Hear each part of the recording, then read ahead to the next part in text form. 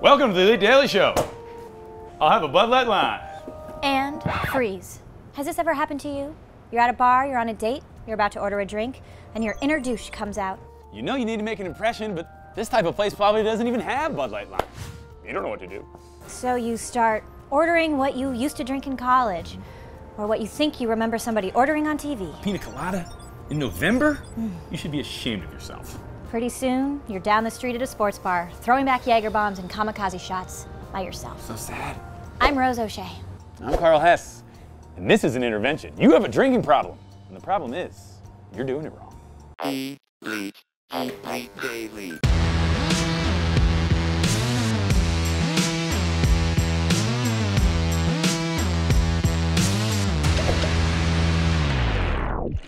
Okay, so Garrett, what uh, what exactly goes into just a proper cocktail?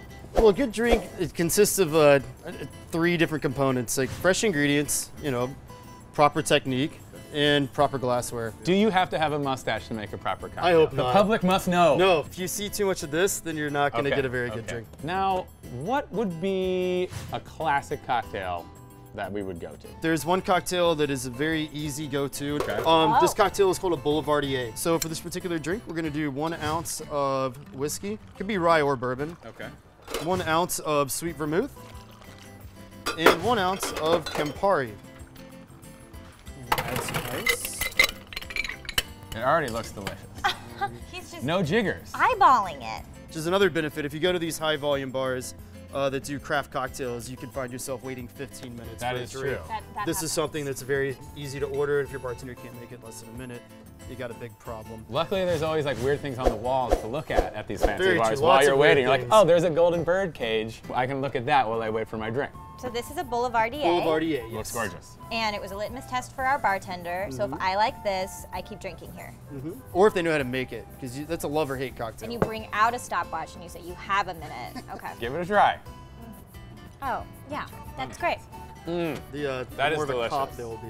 Okay, so what, speaking of ordering too much alcohol right off the bat because it's so delicious, what are some other big mistakes, classic mistakes that people make at the bar? As a patron, the best thing you can do is to walk in, never say what's good. Right. Make me your favorite thing to drink, because chances are I'm gonna make. That's one of my favorite cocktails, and a lot of people aren't going to like that. It's not about us. It's about you having a good time. What about like you're on a date, you know, you don't want to do a classic order like Mm-hmm. a Manhattan, but you want something maybe like impress them a little bit, but also sound a little knowledgeable? Like what's a good go-to? Uh, I think the last word would probably be a good idea. Okay. This is a, uh gin cocktail with green chartreuse, which is a herbaceous, high octane. Uh, I love liqueur. saying the It's- word it's about- herbaceous. It's about 110 proof. One ounce of gin. Now, I like gin. I love gin. This is a great cocktail that is both refreshing and complex. It's boozy and it's got a lot of stuff in it that by themselves people probably wouldn't like. Right. Um, but on its own, one ounce of green chartreuse, chartreuse. one of the oldest uh, liqueurs Wow. ever made, second to Benedictine. Very First cool. distilled in 1605 by Carthusian monks. Those monks, they know what they're doing when Yeah. it comes to booze. This is one ounce of Luxardo. This is a bitter cherry liqueur. Great addition to any home bar. Um, relatively cheap, but adds like Cool. Cool a nice bottle. hint of bitter. It's got. Yeah, straw on it.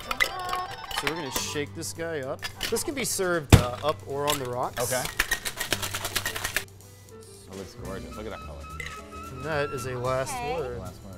Keep in mind, this is honestly probably a towards the end of the evening cocktail. Is that why it's called the last word? Because it's like you have this. There's an element of Then yes. say and no then, more. and then you go home and make terrible mistakes. But that drink looks good.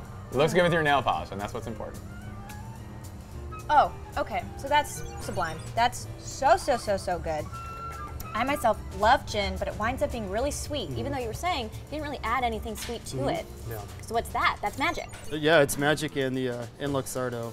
So what are like some cool things I could buy for my home bar that level me up and make me look pro, like a connoisseur, like I know what I'm doing, Up like the I bar game. don't just eat cereal in a bowl over the sink. It's almost screamingly easy, and a lot of people don't do it. Get a large 32 ounce uh, tin.